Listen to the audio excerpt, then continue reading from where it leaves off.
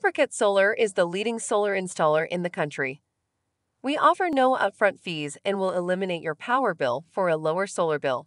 It's really a no brainer. Celebrities like Tiger Woods, Pierce Brosnan, and Julia Louis Dreyfus have solar homes.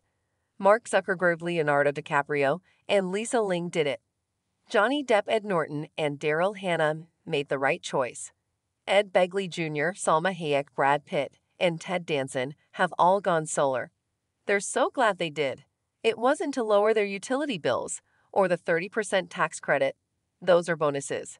It's because it's the right thing to do. How would you like to lower your utility bill and help the environment? It's a great way to save money and help the environment. Call us 855 589 2289 or scan the QR code to schedule a free energy savings analysis.